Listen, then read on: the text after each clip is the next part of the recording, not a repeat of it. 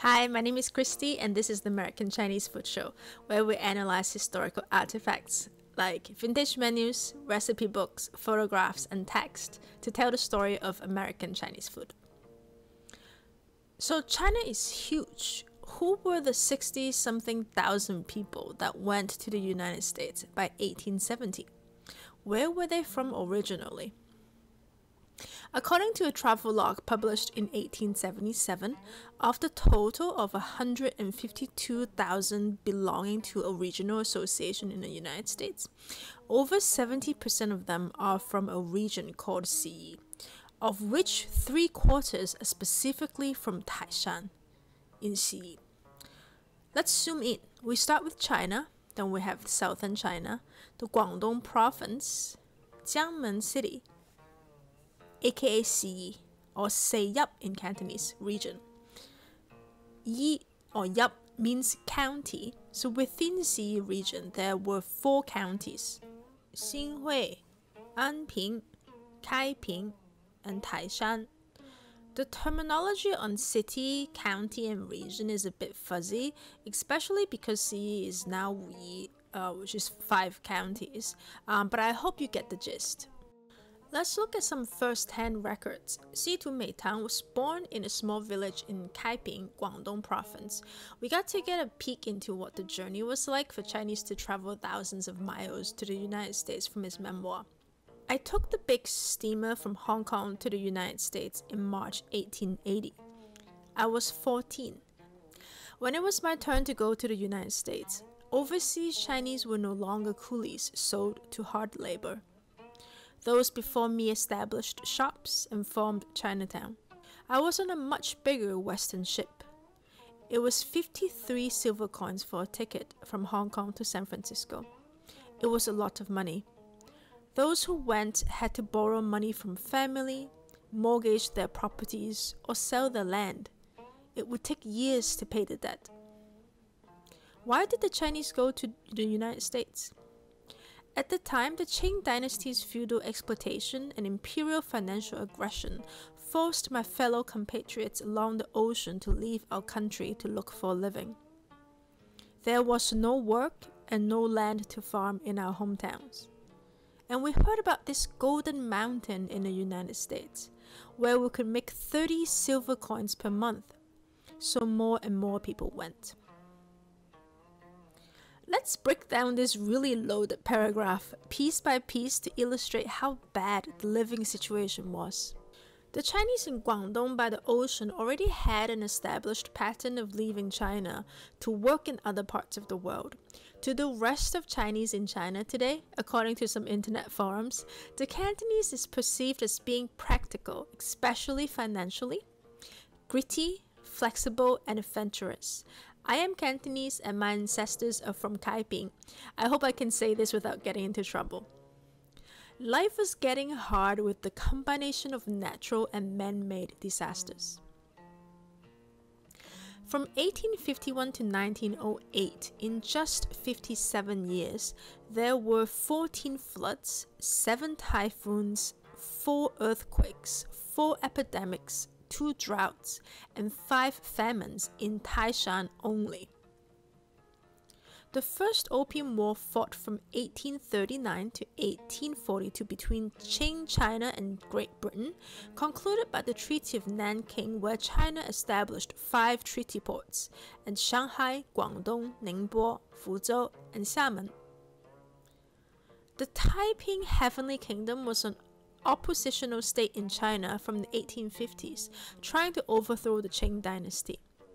At its height, the Heavenly Kingdom controlled South China, centered in the Yangtze River Valley, and took control of Tianjin, where the Qing emperor was forced to flee. But then the Heavenly Kingdom boasted some 2 million followers.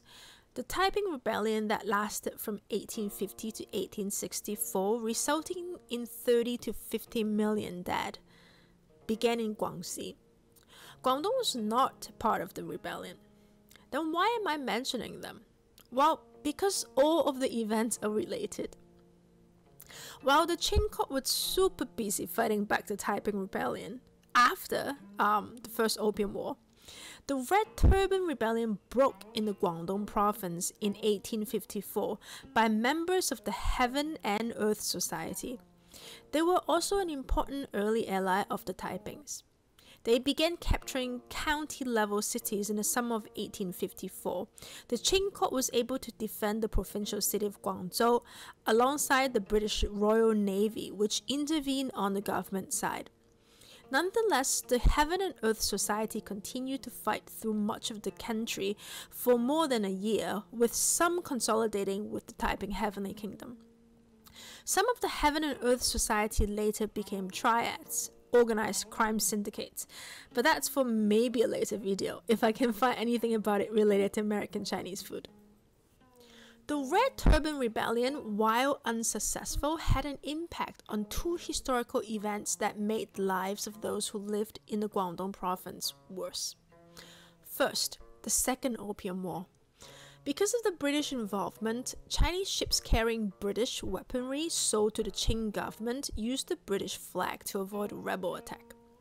When a pirate cargo ship with the British flag was seized by the Chinese Marines in Guangdong in an effort to stomp out the opium trade, and when they pulled the British flag down from the ship, it ignited the Second Opium War.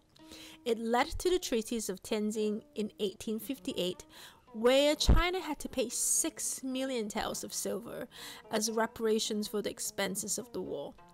High taxes from the Qing court on its people after the Opium Wars had forced many peasants and farmers off their land. Second, the Punti Hakka clan wars. The Punti Hakka clan wars were a conflict between the Hakka and the Cantonese people in Guangdong between 1855 and 1867. Hakka literally means guest family, and Punti means natives. The Hakka settled in southern China in a series of migrations. For some time, the local Cantonese and Hakka lived together pretty peacefully, until life became increasingly difficult as the population of Guangdong province soared. During the Red Turban Rebellion in Guangdong, the Hakkas helped the imperial army raid local villages to kill the rebels and any real or even suspected sympathizers, including villagers who were just forced to pay taxes to the Red Turbans. This precipitated open hostility between the Hakka and Punti, with the Punti attacking Hakka villages in revenge. The wars resulted in roughly a million dead, many more fleeing for their lives, and thousands of villages were destroyed. Those who lived in the Jiangmen city were comparatively poorer than those in places like Guangzhou or Hong Kong. So imagine if you were in this situation, life is super crappy. When the job notices showed up, many people jumped on the opportunity. A few of the Chinese from Jiangmen City became contractors in the United States, such as Chuck Lee from Taishan. The story goes Chuck Lee was one of the gold miners who ran his own business after the gold rush. He was commissioned by the Central Pacific Railroad to recruit railroad workers. One day he showed up back in his hometown in 1865 in a suit, announcing men were needed for work in America and people lined up. Lee described to his fellow village people America's rich country where gold was everywhere. Those who go there to work for a year or two came back, a rich man. Almost no one was able to afford even the cheapest boat ticket to get to the United States. Lee allowed them to repay in payments from their salary. He also promised laborers could send money and letters back home whenever they wanted, and promised to send their bones back to China for when they passed away in unfortunate accidents, which happen more often than we would like. And fast forward to today, Taishan is called the number one overseas Chinese hometown of China. So there you have it.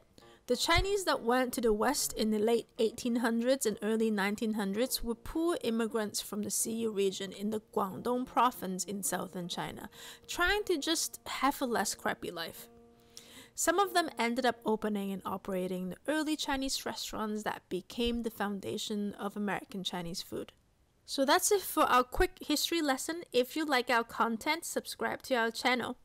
See you soon.